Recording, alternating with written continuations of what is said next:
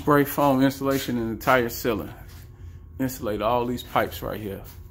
Actually, if you just insulated this run with a pipe set and just run it all the way back, it doesn't necessarily need to all be insulated since it's a common area. Just depends on how warm you want it to be.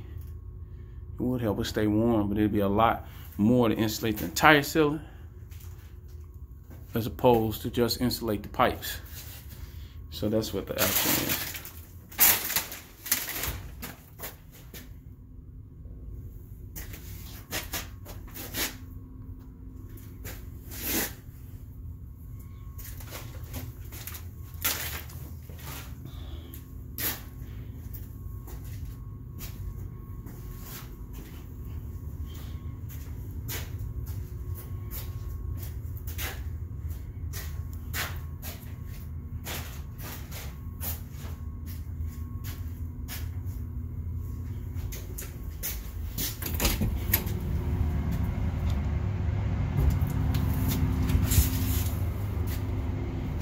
Gonna have to take down this drywall too.